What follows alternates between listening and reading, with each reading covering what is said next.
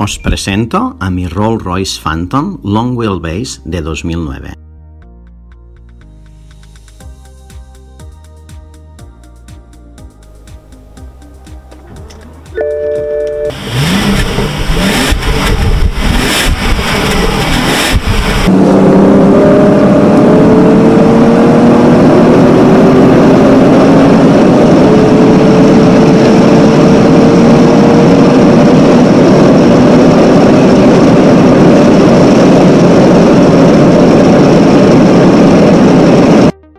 Mi nombre es Mark y soy coleccionista de coches clásicos.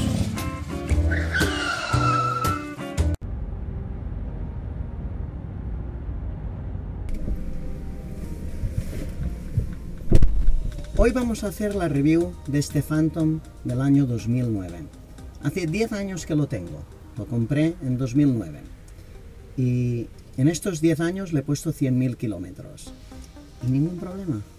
Solo un set de pastillas de frenos, un set de ruedas y lógicamente los cambios de aceite. Realmente este coche está construido para que dure toda una vida. Esperemos que siga igual, pero dentro de un rato vais a ver un poquito todo lo que tiene de especial este Phantom de 2009. El Rolls Royce Phantom de 2009, de cuatro puertas, es un sedán como ninguno otro masivo, tradicional hasta su mínimo detalle y enormemente potente. Es un vehículo ultra lujoso diseñado de la manera más moderna posible, pero con sus cuatro ruedas plantadas firmemente en el pasado. La altura de la rejilla del radiador y el adorno del capó Spirit of Ecstasy y el enorme pilar se remontan a los días de los clásicos sedanes de Rolls-Royce. Sin embargo, los faros estrechos y rectangulares parecen estar fuera de contacto con el estilo más tradicional. Una de las cosas curiosas es cuando intentas robar la estatuilla de Rolls-Royce, la Flying Lady. Haces fuerza para, para llevártela y se va. O sea, no se deja coger. Se esconde, completamente escondida.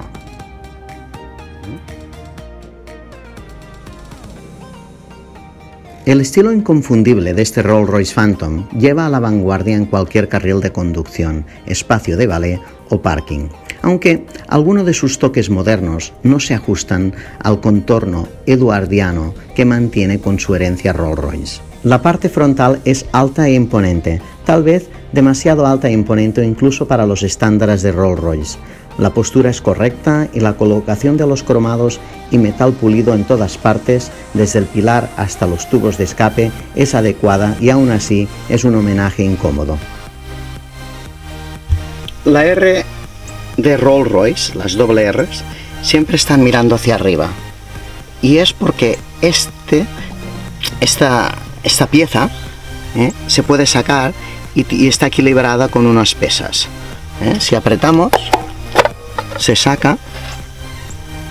Y esto es lo que hace, ¿ves? Cuando está en movimiento, siempre la RR ¿eh? queda hacia arriba. Nunca nunca hacia abajo, siempre con orgullo presentando el modelo. Quizás esto nunca lo habíais visto. Se pone igual. Lo aprieto.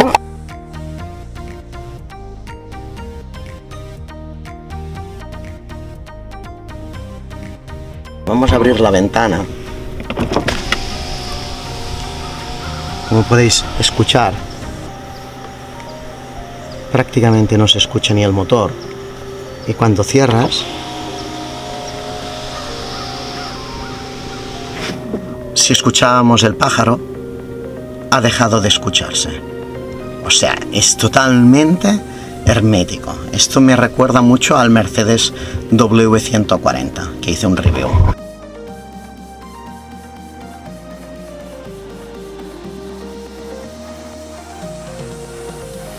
Delante del vehículo y debajo de la matrícula del coche tenemos dos cámaras, quizás una de las funciones que me gustan más. ¿Por qué? Pues porque nos permite ver tanto a la izquierda como a la derecha antes de salir en una intersección. Especialmente importante cuando el morro es tan largo como lo tiene este Phantom. Fácil abrir el coche, con remoto, aprietas el botoncito este rectángulo. ¡Voilà! Y lo mismo a la hora de cerrarlo.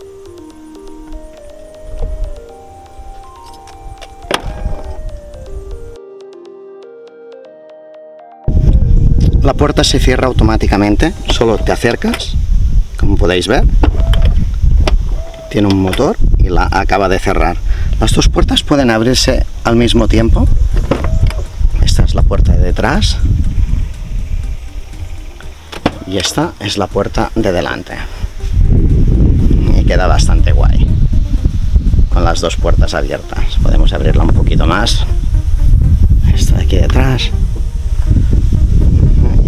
de esta manera tenéis la impresión de lo que es con las dos puertas abiertas. Como podéis ver a la derecha es la puerta de detrás, tiene el paraguas y en el lado izquierdo la del piloto, las de delante, no tienen paraguas, solo las de detrás, las puertas de traseras. Cromado también, volante de madera, la madera proviene de un mismo árbol, toda la madera del vehículo, y se puede escoger cuando estás comprando el vehículo. Puedes escoger el tono, el color que quieres, el tipo de madera, igual que puedes hacer con la piel. Y puedes escoger también el techo, que es lo que quieres. Si quieres las lucecitas y sin lucecitas, ¿eh? si quieres en piel. Y este es parcial, esto es en piel y tejido. En cada una de las puertas traseras tenemos el paraguas. Este paraguas es muy fácil de extraer aprietas el botón este y aquí tienes el paraguas. Precioso paraguas, todo cromado, con sus iniciales de Rolls Royce. Es precioso. Ah, rompí uno hace unos años. Madre mía, 800 euros. Y por si no sabías que era un paraguas, aquí en inglés lo pone escrito. Dice umbrella. En el interior encontramos, tiene muchísimo espacio ¿eh? para ir dos personas súper cómodas. Piel de Connolly, ¿eh? suave, fantástica piel. Las puertas de madera, adornos, pantallas de televisión en cada una de las de los asientos y para reclinar los pies. Eh, si quieres, esto ahora no lleva la alfombra de invierno, son las de verano, pero aquí debajo puedes mover esto y es para los apoyapiés. Los pones en posición de apoyapiés y fantástico, súper cómodo. Como veis, el espacio es muy pequeño. Prácticamente uno no se puede ni sentar y tienes un espacio brutal, ¿eh? Esta parte de la broma. Y esto es demasiado difícil para cerrar. Una persona que tiene un Rolls Royce no lo cierra él mismo. Tenemos un botoncito. Este botoncito está aquí, luego os lo enseño. Aprietas el botón, se tiene que aguantar y cierra la puerta. ¿Qué más tiene? Miramos en el piso, veis que aquí hay unos apoyapiés. Esto se saca se pone en esta posición. ¡Pam! Ya lo tienes, porque antes era muy incómodo. Ahora es mucho más cómodo. ¿Eh? Como más cómodo, mejor. Aquí debajo tenemos todo el control para las pantallas de televisión, que tiene una aquí y también tiene otra aquí. Luego los lo enseño. Y tienes tus controles también de temperatura. Aquí.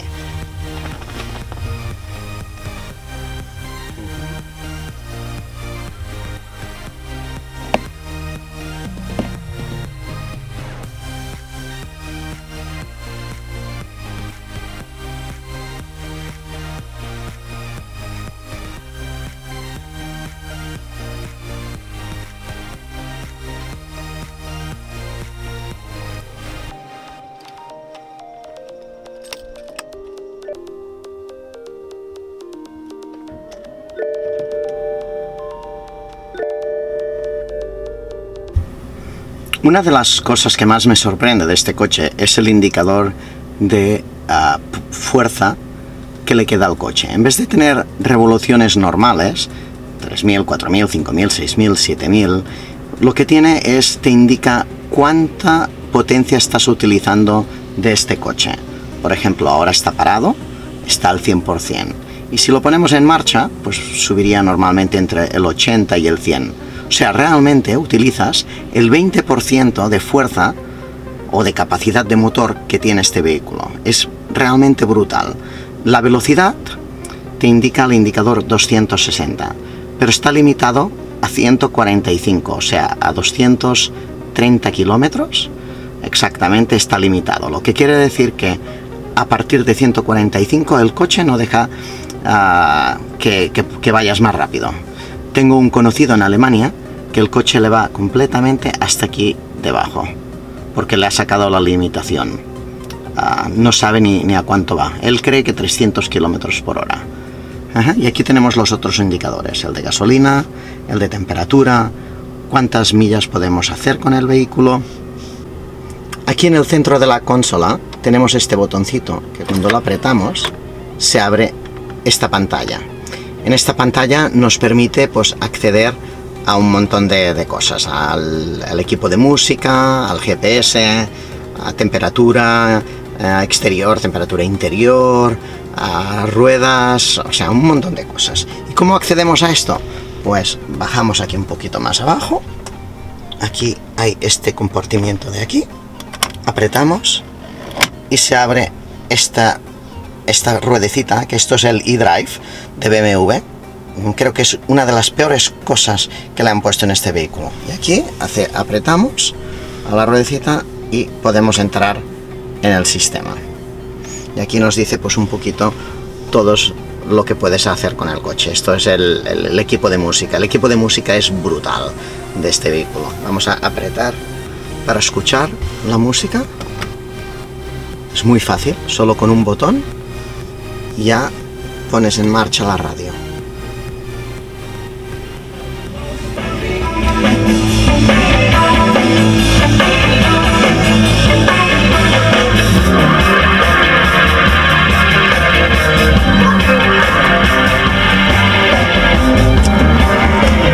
Una de las cosas más increíbles una de las cosas más increíbles de este coche es uh, los bajos.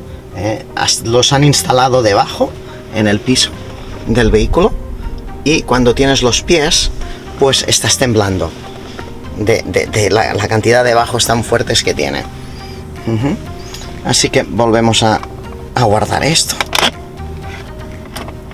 Y aquí tenemos pues el típico americano, ¿no? Que necesita pues los cup holders para poner su botella de agua o su té o su café por la mañana. Esto se tapa y queda la mar de limpio, que puedes poner llaves o cosas, pero si quieres meter bebidas, abres y tienes para las bebidas. Aquí tienes muy fácil la operación de la temperatura. ¿Que tienes frío? Subes esta de aquí, de los pies.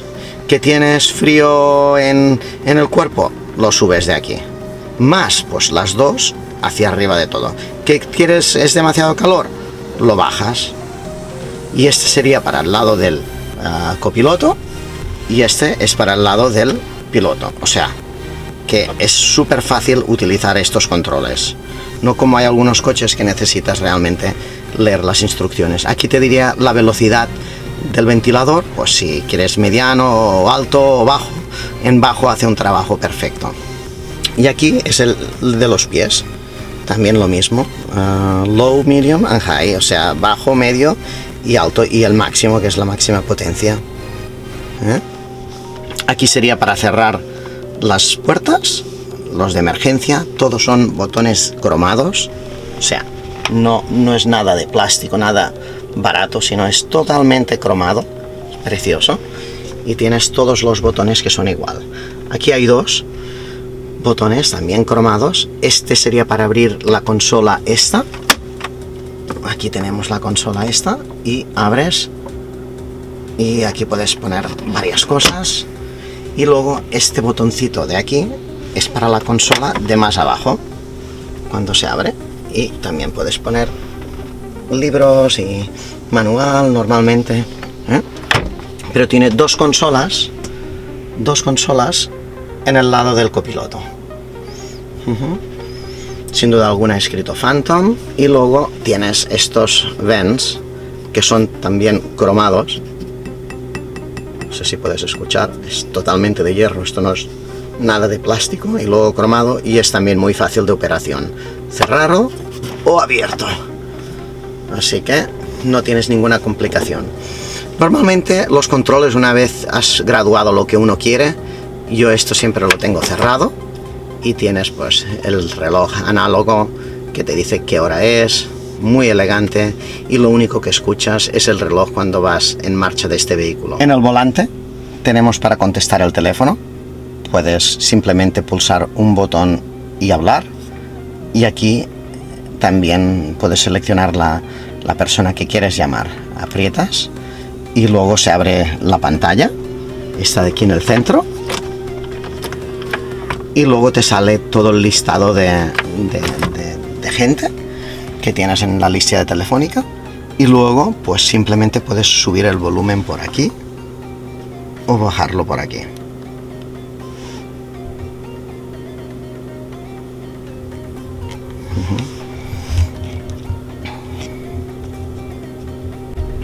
Si quieres llamar por teléfono, abres el teléfono.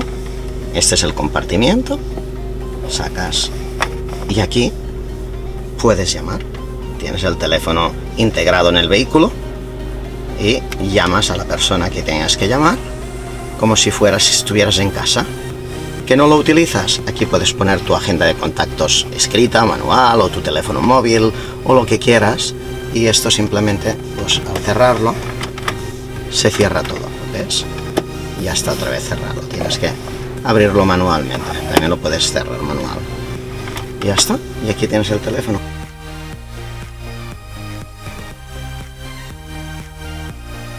El Phantom parece un coche tradicional, pero no nos engañemos, el Phantom es un artista moderno, gracias a la ayuda de ingeniería de la empresa matriz BMW, con un motor de 12 cilindros en B de 6.75 litros debajo del capó y 450 caballos de fuerza, tiene suficiente para mover de una manera ligera y casi deportiva como un Ferrari esas casi 3 toneladas en un flujo de potencia casi silencioso y continuo.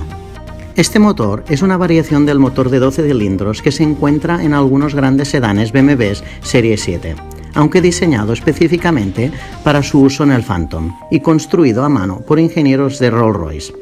Transmitido a las ruedas traseras del Phantom a través de una transmisión automática de 6 velocidades, la potencia del motor empuja este sedán de casi 3 toneladas de 0 a 100 en 5.7 segundos o 5.9 segundos para la versión de distancia entre Y aquí tenemos el motor. Un motor de 12 cilindros, 6.75, o sea, casi 6.8. Sin duda alguna, aunque sea un motor BMW, está desarrollado para Rolls-Royce. Mi nombre es Mark y soy coleccionista de coches clásicos.